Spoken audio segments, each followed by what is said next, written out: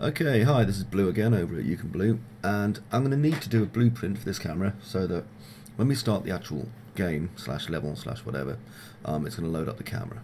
Okay, so what I'm going to need to do is do what's called a blueprint. So I'm going to save my map, and what I want to grab is the blueprints, and I want to open my level blueprint, and that gives me this here, which looks like a nice bit of graph paper.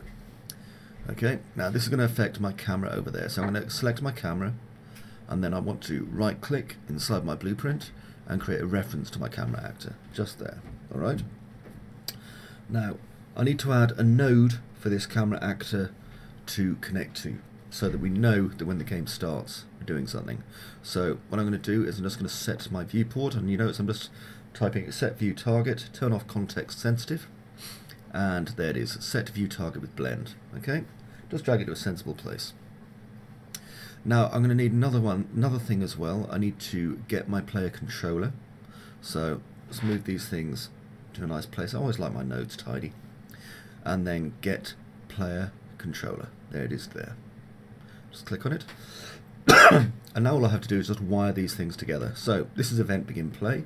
When we start the game, because that's technically what it is, it'll immediately start set view target with blend. Now for the target, I want that to be my player controller. So it's going to take over control of our player viewport. So I'll wire return value to target.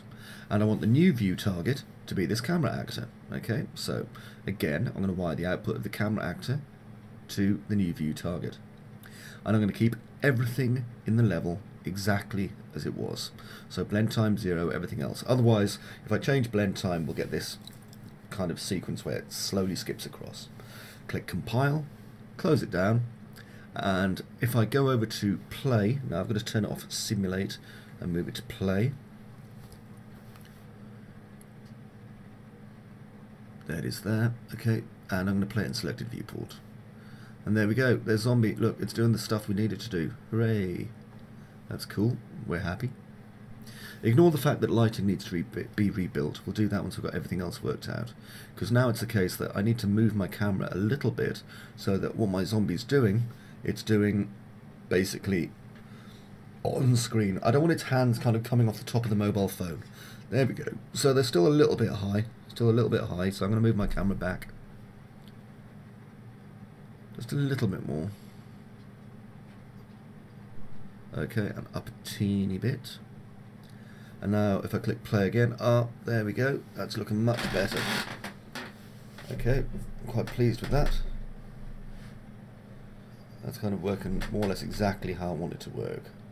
Okay, so we've got our blueprints and everything else is looking okay.